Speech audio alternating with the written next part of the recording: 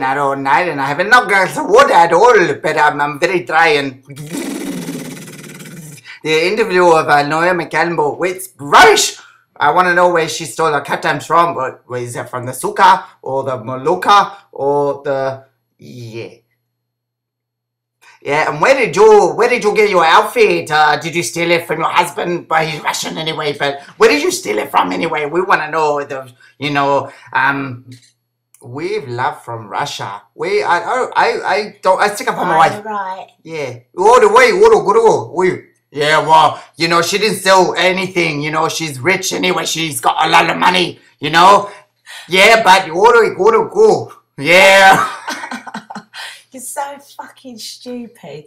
Yeah, but I love you. I love you. I love you. Yeah, because you love my black pussy, innit? Yeah, yeah. Yeah, he just loves black pussy, you know what I mean? He love it. Mwah. Mm, he love Yo, it. I, I want that. I, I can't do that with my husband. No, listen, yeah, right? When I first met him, he sniffed out my pussy. He was like, Your pussy smells like chocolate, you know what I'm saying? I was like, Oh, you want some of this, yeah? You better have a big black cock. But you know what? You ain't got big black cock, but you got cash, you got big, big black wallet. So, you know I mean? We just worked it out. We just worked it out, and he was just buying me jewelry, proper, just like full on with me and everything. Yeah, but what what do you mean? What did he steal?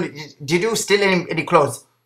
No, I just you know he he buys all my clothes. You know what I'm saying? Like he buys all my garms and like fix me up. I got yeah, I'm I'm happy. You know, I mean, I'm a girl from Streatham, so you know, like if a man wants to come and buy me garms, that's just wicked. You know what I'm saying? Yeah, but uh, where is Shripham anyway? Is it in India or is that in where? Where? What are you talking about anyway?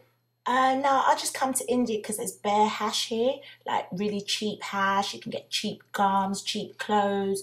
Like I just come here because it's cheap, and like he comes here because he can get like little Yeah, boys. you want hash? I got hash in my um in my purse. If you want some, I can give it to you cheap.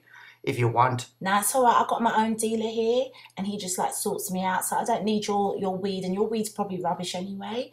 And look, I got my own drugs. I got my coke in my little, you know, tucked away in my sari. Like I'm having a wicked time. This is better than going to like Ibiza or Ibiza. Yeah, but yeah, I've never been to Ibiza Ibiza anyway. I can't compare it to here.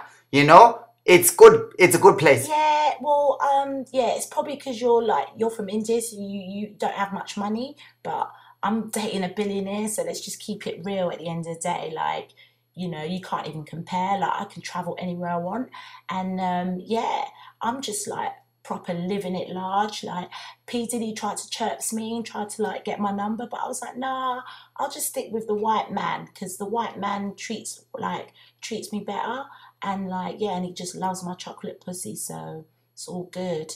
And yeah, don't even look at me because I'll just fucking punch you in the face, you fucking bitch. Oh, sorry, that's the like South London coming out of me. Yeah, I'm gonna get a restraining order from you. I feel already threatened. Yeah, yeah, but I'll just bribe the police officer and they'll just rob you for everything you got, love.